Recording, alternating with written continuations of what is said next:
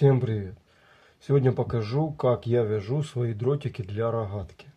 У каждого дротика сзади есть петля, за которую нужно вязать шнур. Шнур привязывается к дротику и дальше к катушке. Я беру максимально толстый шнур и на примере его покажу. Шнур 0,45 я когда-то использовал, но он не очень, поэтому Лучше 0,40, если хотите, максимально толстый. Но я на нем покажу, чтобы было наглядно видно. Э, если вы будете вязать какие-то супер хитрые узлы, у вас ничего нормально прочного не получится. Какие бы хитрые узлы вы не вязали. Шнур не любит, любой шнур, абсолютно любой, не любит узлов. Поэтому, чтобы здесь не было прямых узлов, я вяжу следующим образом. Продеваем в петлю и потом несколько раз продеваем еще раз. Просто в эту петлю один, два. Я делаю это с разных сторон, чтобы так, таким, скажем так, немножко разбросом крестиком это сделать. Три. Можно там четыре, пять.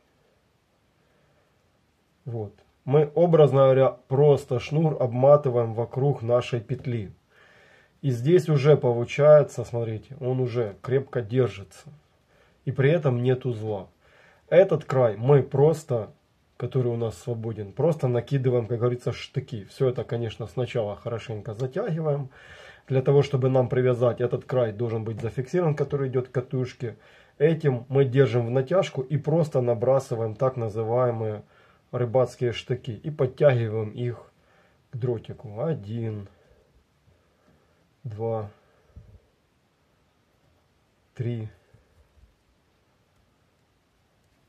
четыре, пять,